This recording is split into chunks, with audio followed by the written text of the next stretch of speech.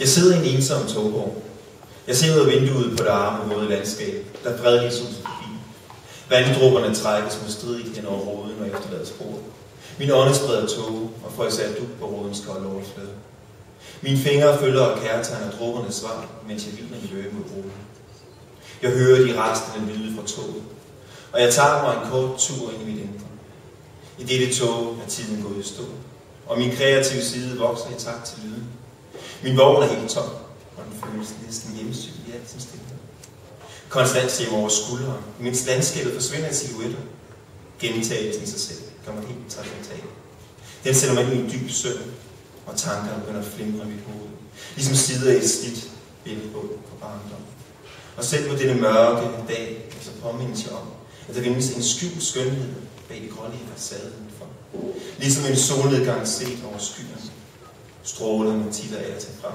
Og for blandt de travle skyer, ja, så kærtegner dit ansigt og drager mod af mit indre. Hvorefter jeg betragter masserne gennem de våde råd.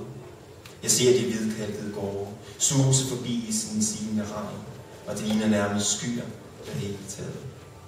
Træernes blade indbyder til et ungdomligt lag farvevrindende efterår. Det stillestående vand på asfalten reflekterer og bøjer sig efter vandens stråben deri. Og jeg forestiller mig lejen, det ligesom er ligesom en sø til nyrerne. Og jeg griner over mig selv, fordi jeg ved jo godt, at det bare er en vandpyt set med mine øjne. Med ild begynder skinnerne at kurve og bøje. De vrider sig og ændrer sig i mange retninger. I det fjerne ser byens kunstige fingeraftryk. Det nærmest opslugt af mørke, tjæreagtige skyer, så kun efterlader et doven silhuet af en tilværelse, der engang var. Toget viner, og det standser ved nærliggende station.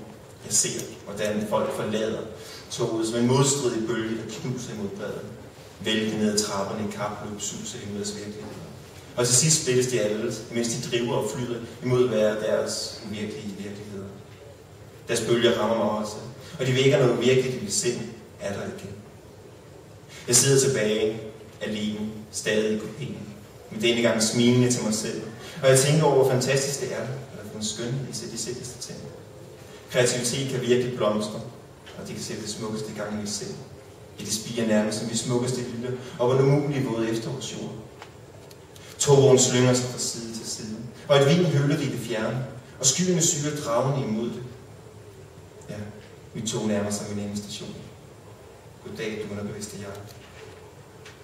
Du fysiske protektion af min sjæl.